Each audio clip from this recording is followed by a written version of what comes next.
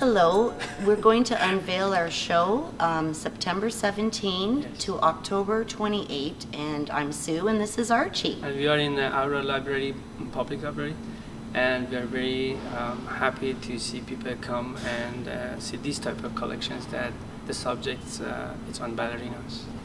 Uh, actually, I found Sue like five years ago because she has a studio, as an open studio in Richmond Hill. Open So- Life Drawing. Open life drawing. I'm very in love in life drawing because the texture, the movement, the, the aspects of what you see is not that you can have this experience in every day. This year, um, actually last year we had one of the shows here also, which was the Buddha, but uh, this year we decided to work on ballerinas. Uh, to me, um, ballerinas geometry is very ultimum of the many of the dancing. That's why uh, when we started to do these things, we use, of course, life model, and um, through that we found different aspects of this and try to find um, different type of life a person can have as a dancer. This one is called On a Stage. I try to choose the way after many years of the experiencing to be a ballerina in the, just the moment before I go to the stage. It's, it's, it's different types of the ballerinas are here. You can see the youngest one here. That's my purpose to put it here. And the oldest one on the back, which is relaxed more. And you see these shadows comes from this way. That's one of the aspects. The material I used, um, I used textures, mixed media. I started with the acrylic on the background and after that I added up this with the oil bars on top after it dried. And then uh, I add the textures after it.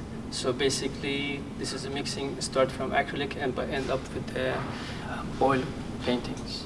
This one's called Steampunk Tutu, and uh, I I wanted to incorporate a modern take on Swan Lake. So um, there is a, a faucet, a water faucet, as part of her tutu.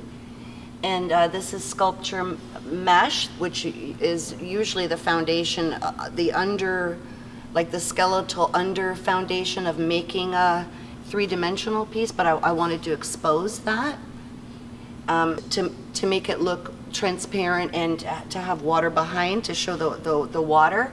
And, and the story Swan Lake, it all has to do with time. And of course, the, the jewels, the, the pearl is the stone of sincerity. So I thought I, definitely I got to add that. And, uh, And you have and some real feathers. Uh, I didn't want the whole thing to be all fluffy. I wanted to, to build to build the dress, the tutu, and tell a story. Yeah, we, we, we found that the public places is the best. Otherwise, the choosing the galleries, just just particular people comes there to look.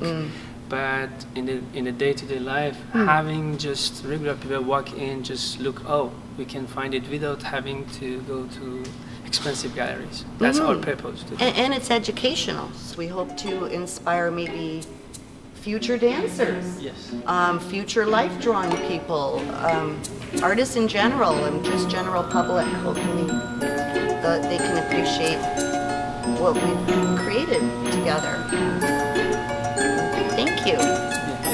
Here. Yeah.